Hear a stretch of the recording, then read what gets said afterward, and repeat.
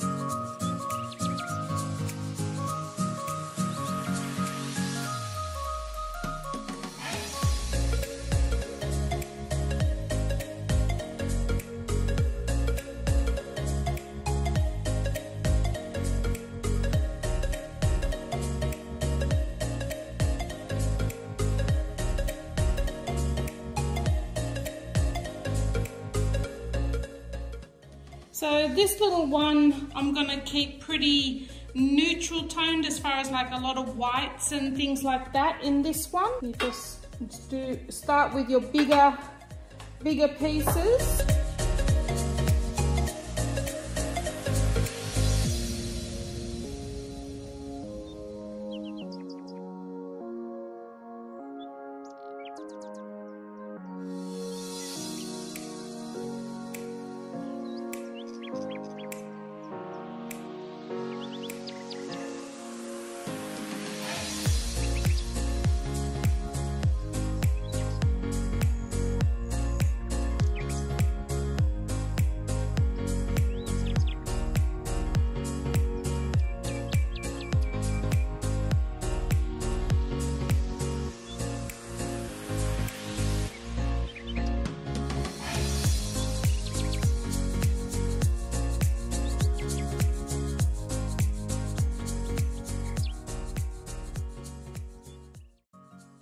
So here's the finished tray.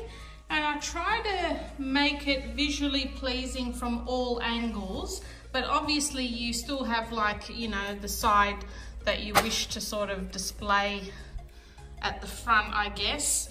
But yeah, I mean, it is it's so easy. Like once you've got all your little supplies, um, put all the little things on that you want to display, and then just fill in all the gaps with some pine cones, faux flowers, potpourri filler.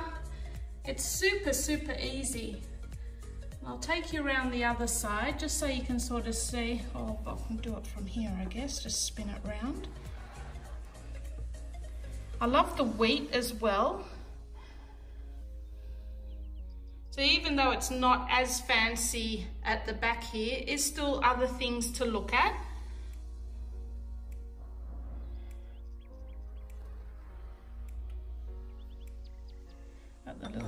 There.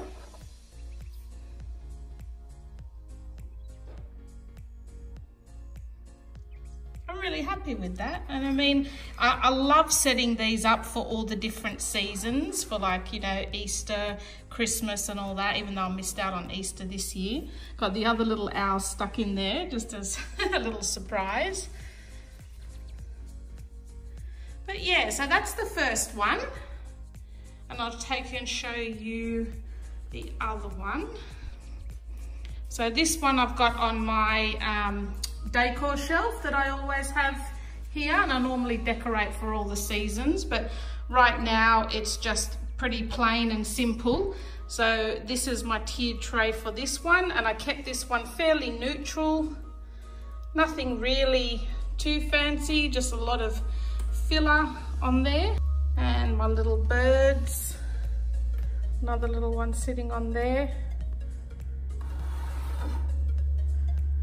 And again this one yeah I mean it's still still able to be viewed from different angles but obviously with it sitting on this shelf um, there is a, a definite front to it which I would say would be like that so I hope you enjoyed this video guys and it gave you some ideas on how you can decorate your own tiered trays and I'll see you guys in my next video. Thanks for watching.